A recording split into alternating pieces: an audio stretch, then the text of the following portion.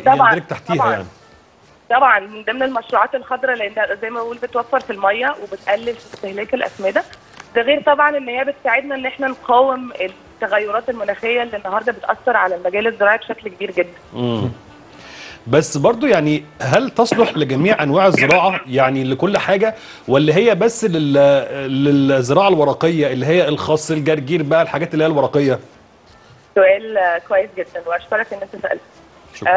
هي في الحقيقة عشان هي تقنيه زراعيه الفكرة فيها إن أنا بأحاكي البيئة المثالية للنبات بديله كل العناصر اللي هو محتاجها بالظبط بشكل مهندس مم. فأنا بقدر أزرع فيها كل حاجة ممكنة ولكن ال- الفرق أو السؤال اللي أنت بتتكلم فيه فعلا الحاجات الورقيه هي أكتر حاجة منتشره يمكن لأن هي دي من أوائل الحاجات اللي الناس جربت تستخدم التقنية بتاعت الزراعة المائية دي فيها وهي الورقيات ولذلك هي الأكثر انتشارا.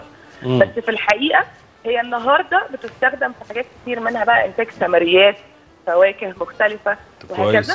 يمكن وبطاطس حاجات من هذا القبيل ولكن لسه مثلا في مجالات آم، آه، زي ال- المحاصيل الاستراتيجية مثلا القمح والرز وهكذا مع إن هي فيها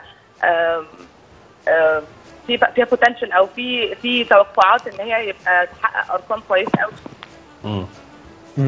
طيب نوران برضو كنت عايز أسألك آه، هل هي مكلفة؟ يعني آه، تقنية زي دي ممكن تكون آه، الفرق ما بينها وما بين تكلفة ال- الزراعة العادية بتبقى عاملة إزاي؟ وبرضو عايز أسألك هل الناس بتستجيب؟ يعني النهارده أنا كمزارع هستجيب للتعليم إن أنا حد ممكن يعلمني زي الورش اللي إحنا نتكلم عليها دلوقتي بسرعة ولا بيبقى صعب؟ طيب خليني آخدهم سؤال سؤال أنت لو بتقارن التقنية بتاعت ال- الزراعة المائية أو خصوصا مثلا الأكثر انتشارا هي تقنيه ال hydroponic مم. التقنية دي بتقدر تخليني أنتج 25 ضعف المساحة يعني اللي أنا بنتجه في فدان hydroponic. بنتجه في الأرض العادية في 25 فدان. فأنا لو بكل بقارن تكلفة الاستثمار في الفدان الهيدروبونيك ده مقارنة بالاستثمار في أو الاستصلاح بتاع ال 25 فدان فهو تكلفته في الحقيقة أقل. طبعا. ولكن لو أنا طبعا ببص لها إن أنا ده فدان واحد مشابه لل- للزراعة العادية فهو تكلفته المبدئية عشان أنشئ النظام الأولي عالية. مم.